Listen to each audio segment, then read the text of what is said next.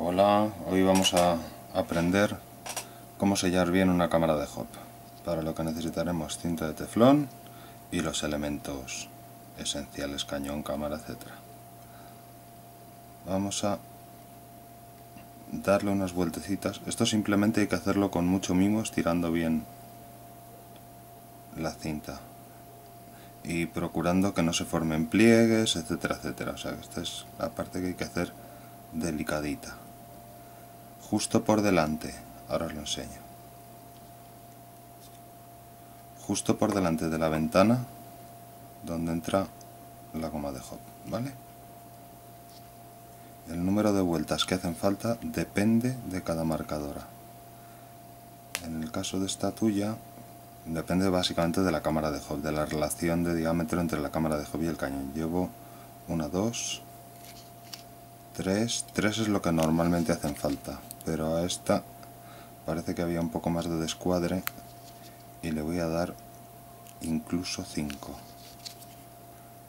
lo mismo me paso pero eso se ve montando después. Uh, que se me rompe.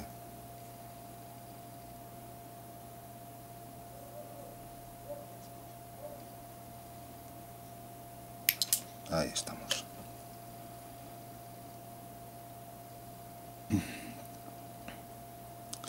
en esta zona que es donde está la hendidura lo que hacemos es tratar de meter un poquito con la uña la cinta de teflón. Voy a tener que cortar un poquito porque si no se me va a incordiar y va a hacer que se remangue al poner la cámara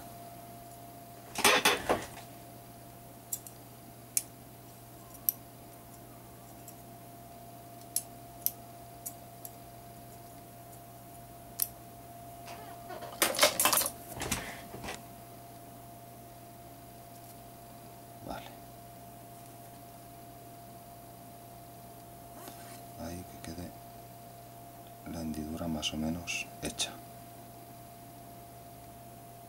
Hablo tan bajito, no sé si me oiréis, luego lo veré, aunque estoy muy cerca de la cámara, supongo que sí que me oiréis bien. La goma de hop, que por cierto está intacta, afortunadamente, en su posición, y ahora es cuando conviene que no remangue en ningún momento, que no haga dobleces en la cinta de teflón yo la meto así dando vueltas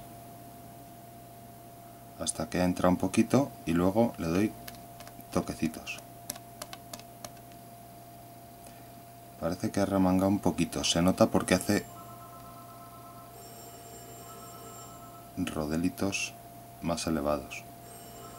Vamos a ver si está en su posición. Aquí también esto ha quedado más levantado porque no ha entrado bien en su sitio y porque está la cinta de teflón ahí incordiando, con lo cual aquí lo que hay que hacer es tratar de apretar un poco para que la propia goma de hop que tiene ahí una rebabilla entre y presione la cinta de teflón dentro de la ranura.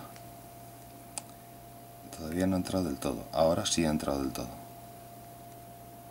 No voy a hacer mucho caso al hecho de que me haya remangado un poquito y se vea ese rodete más gordo porque si consigo que entre bien, no pasa nada, eso lo único que va a hacer es sellar más a ese. Lo que queremos es engordar, engordar el conjunto de goma. Hay gente que pone la cinta de teflón por fuera, me parece mejor ponerla por dentro, porque ahora al meterla en el cañón estás seguro de que no te la remanga, te la aparta, etcétera, etcétera. Entonces, para meterla, ahí, falta meter el... ¿Dónde está? Su se me van las palabras.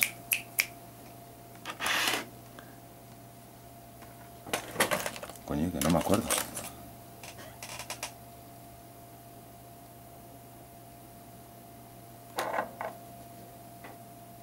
La mierdecilla está. Ya me saldrá el nombre. Hace mucho que no.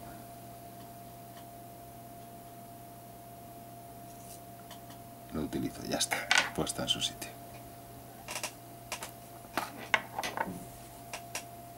El nub, el nub. A ver, un poquitín de aceitillo de silicona. para que resbale.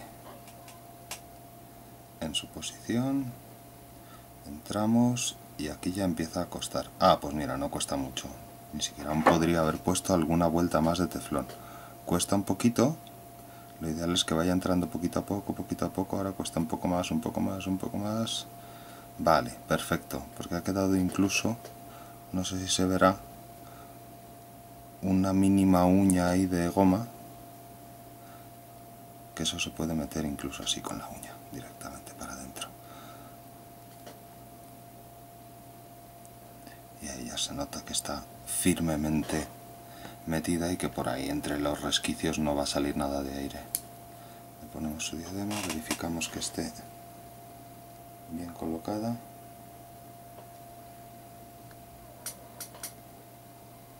Aparentemente todo está en su sitio.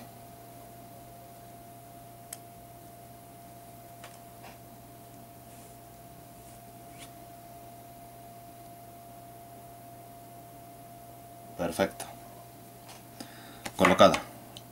Por ahí ya no se va a escapar nada de aire alrededor de la goma, etcétera, etcétera.